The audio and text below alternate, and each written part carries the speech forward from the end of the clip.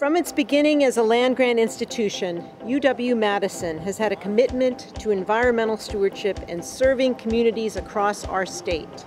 Here in Madison, we simply call this commitment the Wisconsin Idea.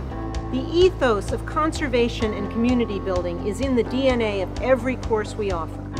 That is, the science and the research that we do on campus rolls out into communities and meets a public commitment for the greater good.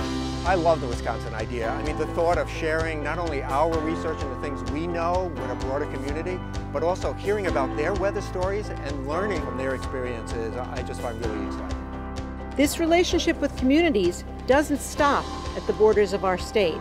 We hope that by engaging our growing community of international MOOC learners that we can learn from one another, continuing to develop unique points of view on diverse topics, from energy production to global health to Shakespeare's Hamlet and hunting in the North Woods of Wisconsin.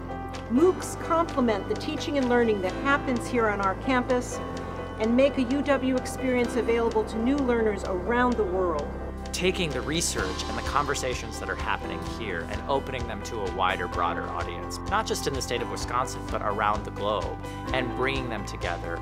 Part of sustainability is understanding how local actions have a global impact and vice versa. And so I'm hoping that part of this course can help fill this knowledge gap and help connect participants around the world. These MOOCs are meant to present the massive choices we all face in our rapidly changing world and we look forward to starting some massive conversations with you. On Wisconsin!